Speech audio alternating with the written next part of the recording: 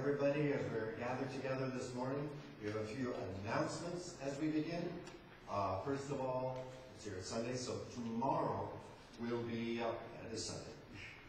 Tomorrow will be the uh, blood drive. And so we still have plenty of uh, time slots that we would like to have filled in. If you would like to uh, be here, I think it goes from four till seven. Is that right? Okay, four to seven. Uh, if you're able to come during any of those times and give blood, as you head out, the sign-in sheet's right next to the quilts. That's a nice point to look at right there. So that'll be tomorrow, if anybody's willing to fill in.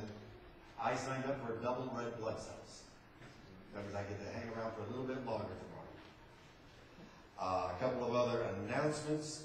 Uh, the Fall Festival meeting, getting ready for the Fall Festival, will be this Saturday at 9.30.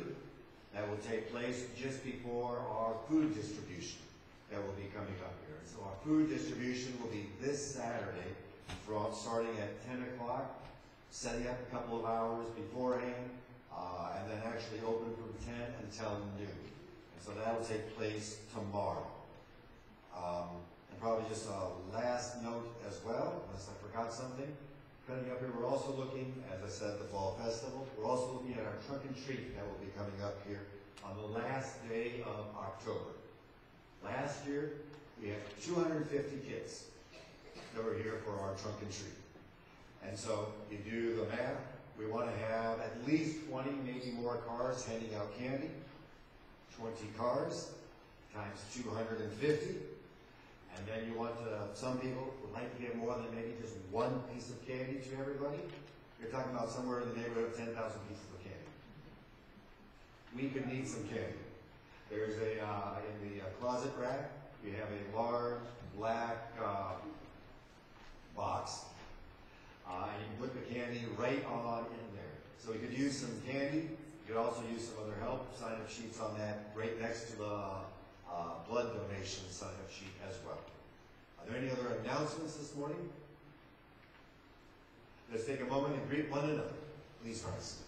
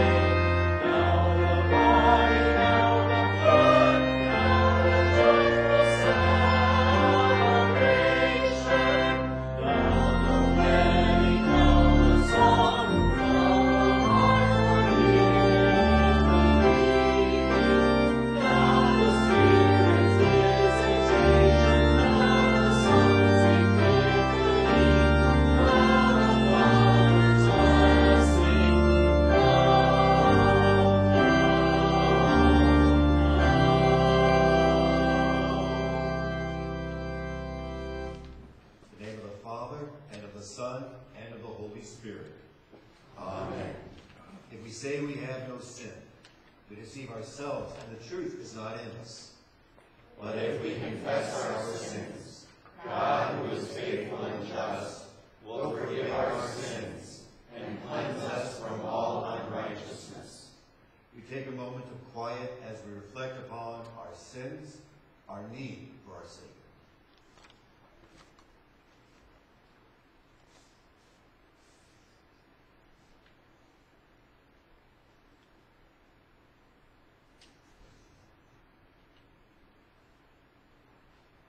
Let us confess our sins to God our Father.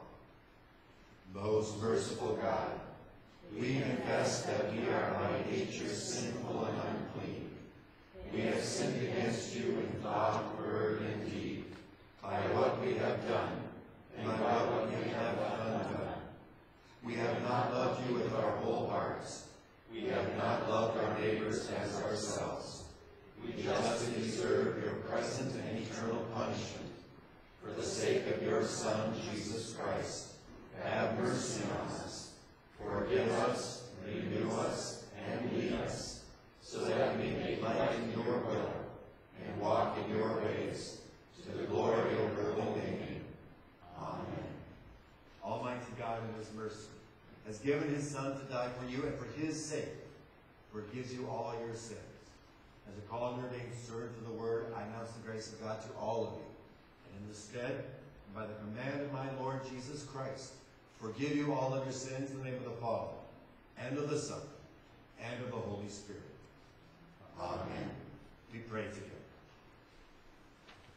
O God, without whose blessings we are not able to please you, mercifully grant that your Holy Spirit may in all things direct and govern our hearts, through your Son, Jesus Christ, who lives and reigns with you the Holy Spirit, one God, now and forever.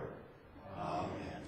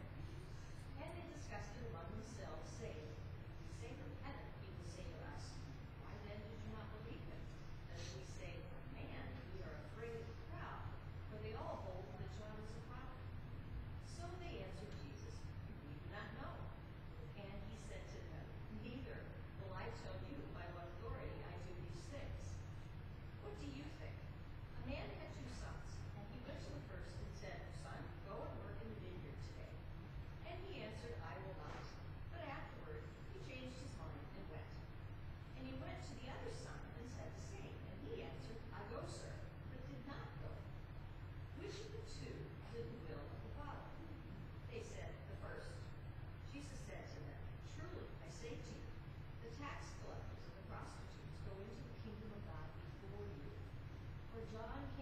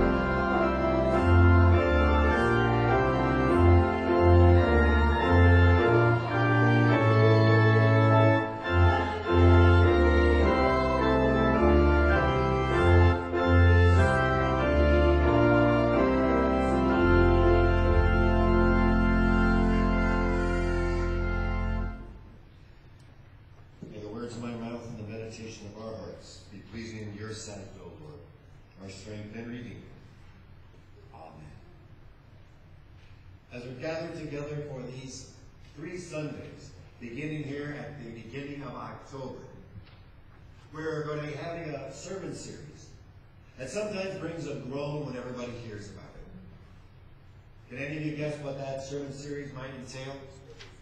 Starts with the S. Stewardship, there we go. I was right, see? Exactly.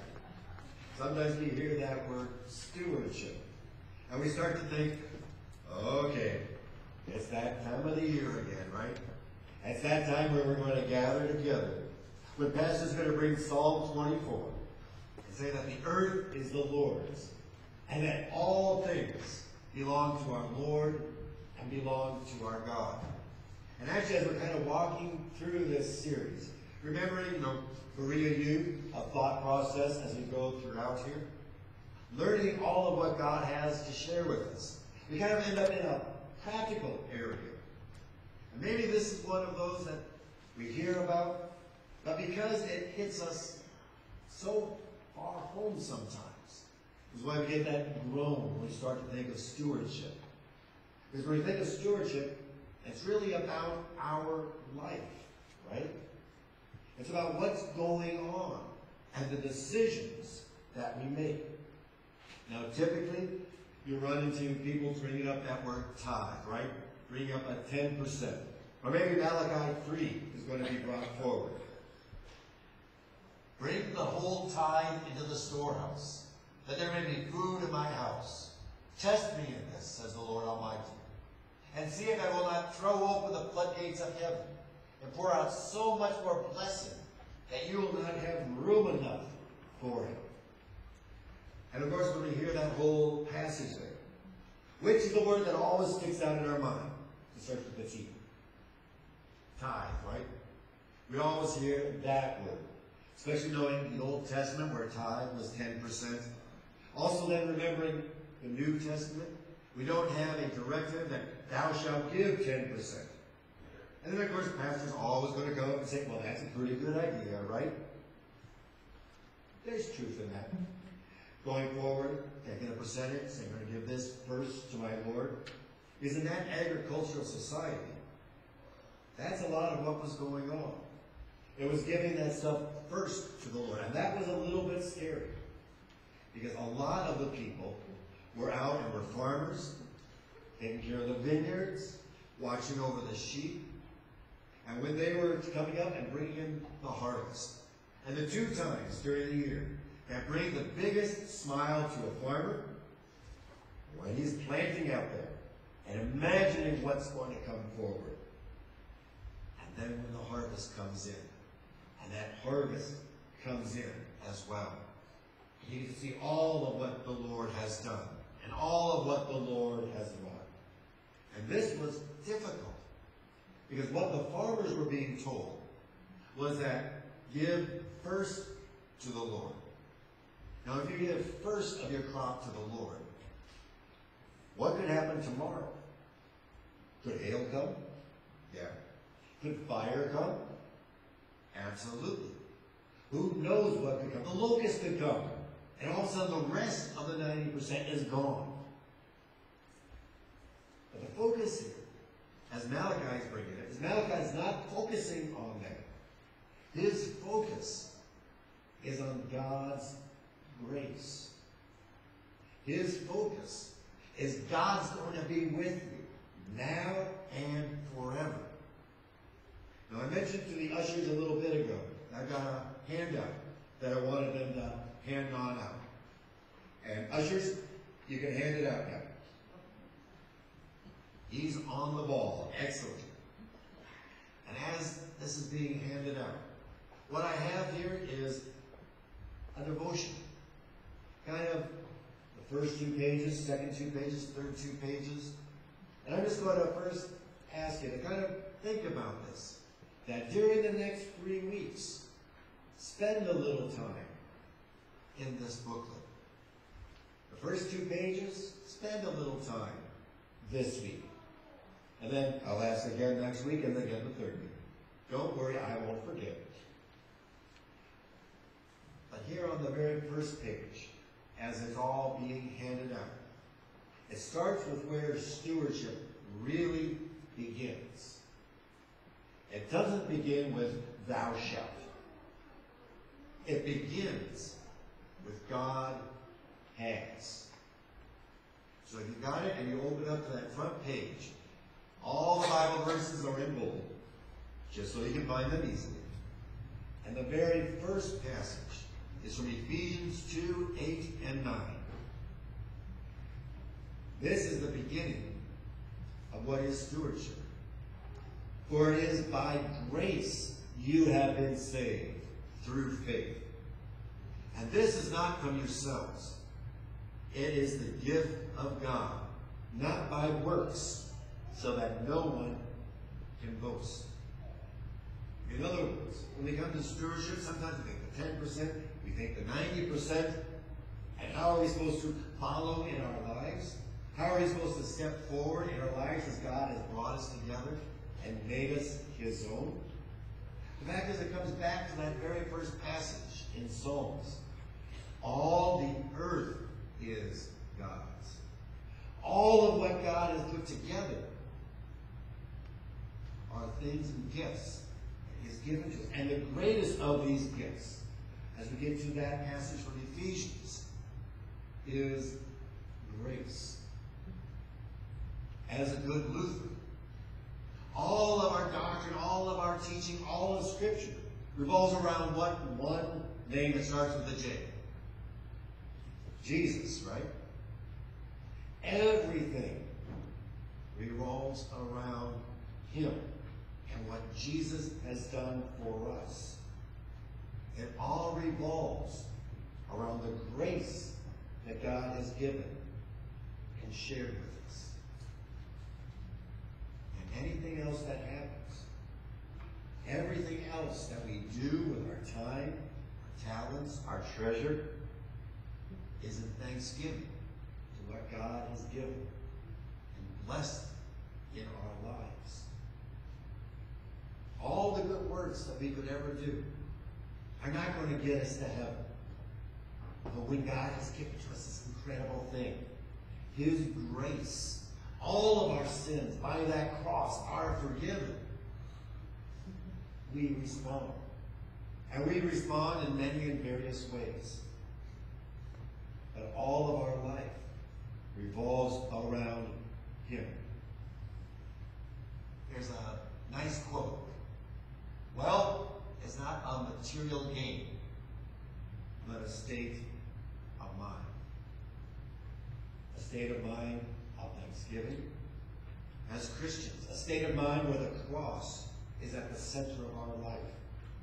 And everything else revolves around Him. And yes, that means thinking of all the decisions that take place in our lives. That means thinking about all the things that are going on. And saying, okay, God, what is pleasing in your sight? And that can be a tough answer. Because all the decisions are followed where the Lord has us and where the Lord wants us to be. Now, as we kind of come up towards the conclusion of our sermon today, what exactly does that look like? What would be an example of what it would look like where we're letting everybody else in our times, our talents, our treasures, in all things, and following in our Lord's way? Think of the last will and testament. And you've all seen enough movies, enough TV shows, where you've got that last will and testament, and you've got everybody out there in chairs, right? And then you've got usually the lawyer there, and he's got the document, and he's about to read it to everybody, right? You've seen all that in TVs. And usually what's everybody waiting for? Usually they're waiting for, what am I going to get, right? Everybody's got a little bit of greed that sometimes gets into them in that kind of a situation. What am I going to get? Or what am I going to get as opposed to what that other person is going to get? Remember the Pharisees' argument from last week? But as we look here, What would be a good way, kind of as a last will and testament of a Christian life? Many of you were here yesterday. We had Shelley English. And we all gathered together. We had the immediate family right up here. I think almost all the people from Maria were on this side in the back end. And everybody else went over there for some reason. I think to get furthest away from the pastor. I'm not sure. And as it kind of went forward, we went into that worship service, many of you know of that faith that she had. And she did an incredible thing. Before she passed away, before the Lord said, You are mine, I am taking you home. Before the Lord said, You've suffered with us for nine and a half years.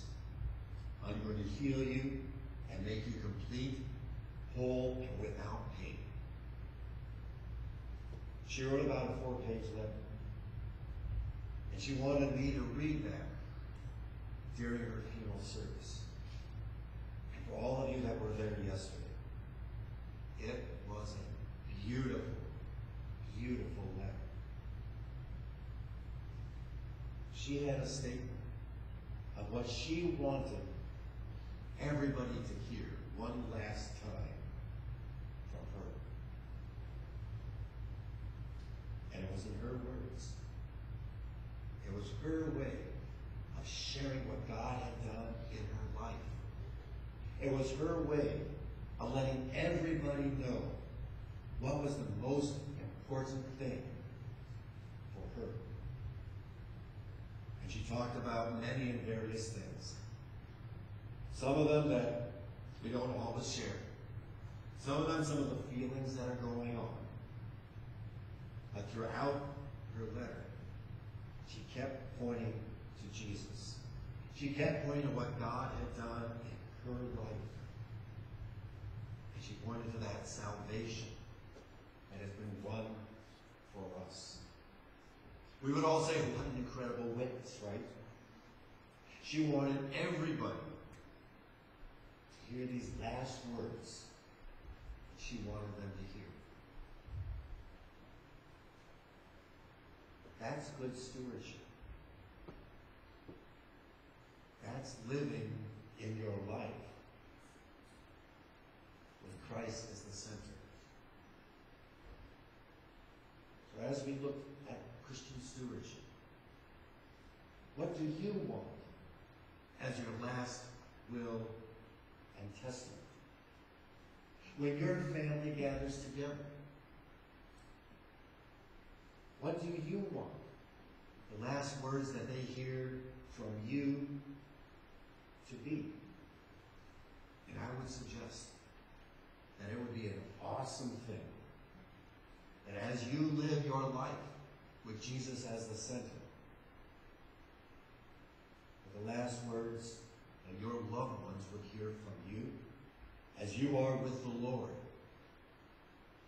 is about your faith how important Jesus is in your life. Amen. And now may the peace that passes all understanding keep your hearts and your minds in Christ Jesus our Lord. Amen.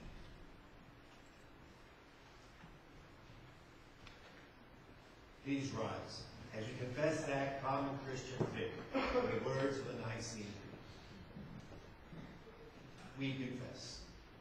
I believe in one God, the Father Almighty, maker of heaven and earth, and of all things visible and invisible, and in one Lord Jesus Christ, the only begotten Son of God, begotten of his Father before all worlds, God of God, light of light, very God of very God, begotten, not made, being of one substance with the Father, by whom all things were made, who for us men and for our salvation came down from heaven, was incarnate by the Holy Spirit of the Virgin Mary, and was made man, and was crucified also for us under Pontius Pilate. He suffered and was buried. And the third day he rose again according to the Scriptures, and ascended into heaven, and sits at the right hand of the Father he will come again with glory to judge both the living and the dead, Whose kingdom will have no end. And I believe in the Holy Spirit, the Lord and giver of life, who proceeds from the Father and the Son, who with the Father and the Son together is worshipped and glorified, who spoke by the prophets. And I believe in one holy Christian apostolic church. I acknowledge one baptism for the remission of sins, and look for the resurrection of the dead, and the life of the world to come. Amen. You may be seated. Please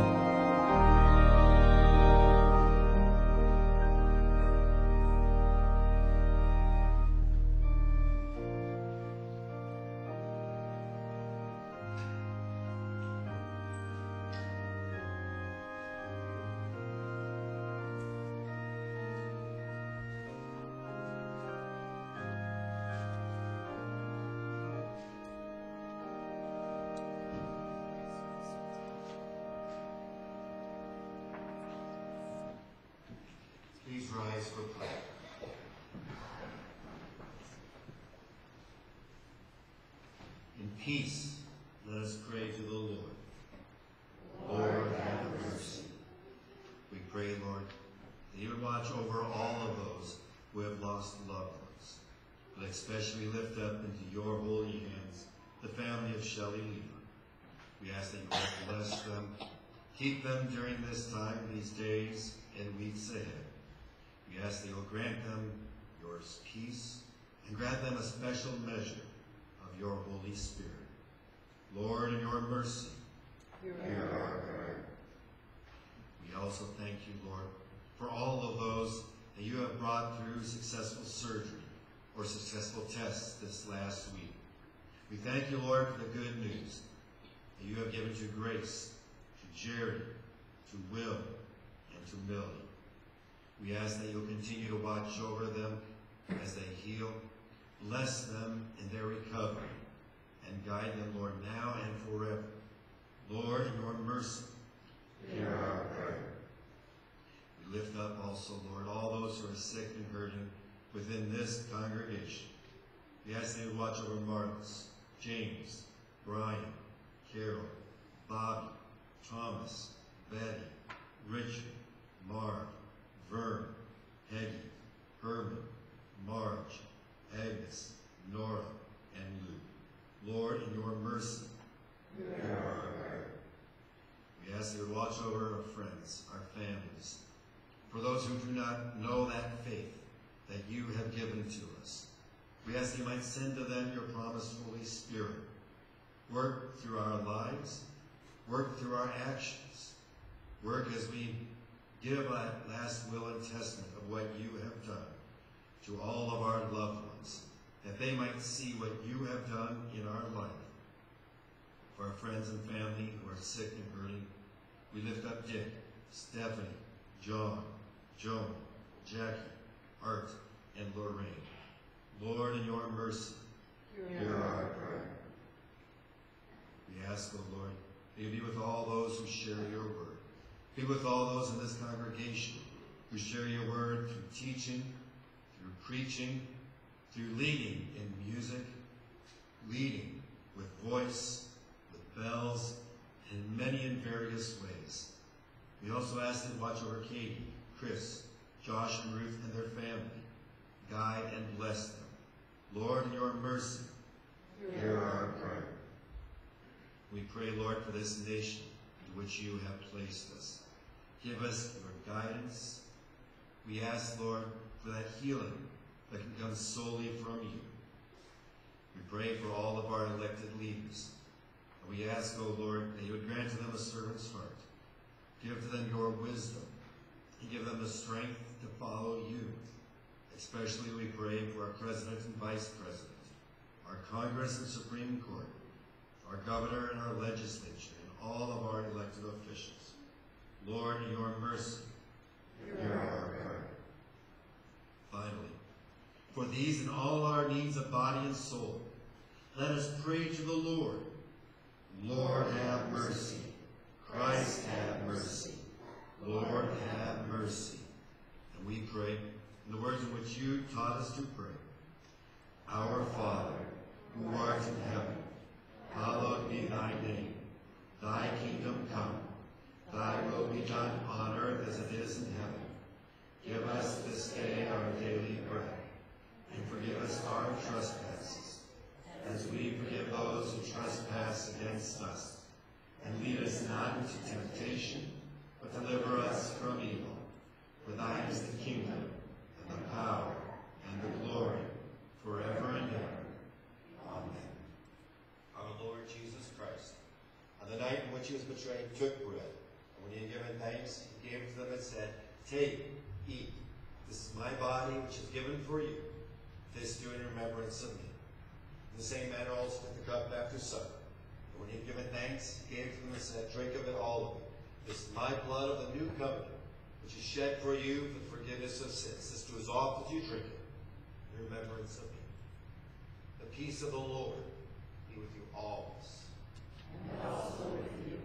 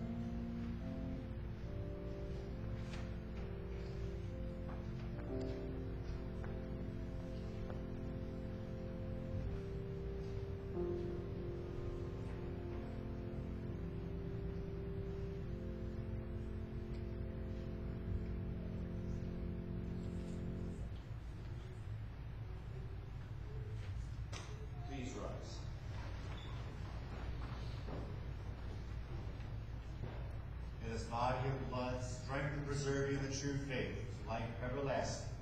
Depart in peace. Amen. We sing and thank the Lord.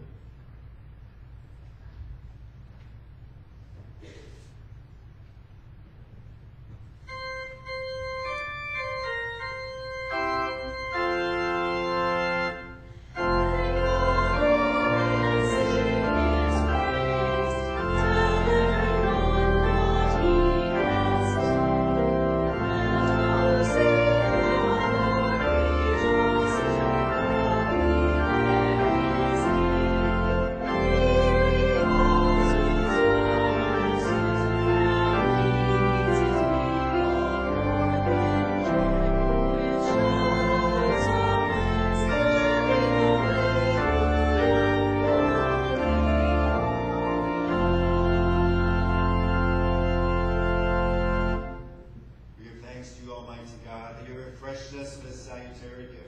I implore you of your mercy, that we strengthen us in faith, courage, and love toward one another. Through your Son, Jesus Christ, our Lord. Amen. At this time, we ask those that are, that are associated with the Beacon Ministry to please come forward.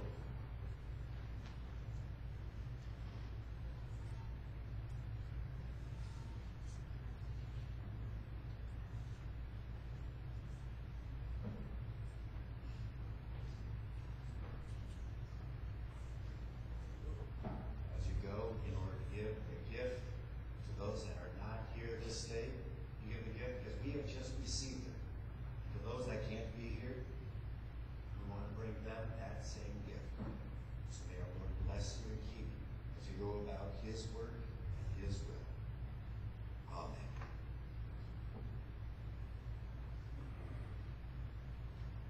May our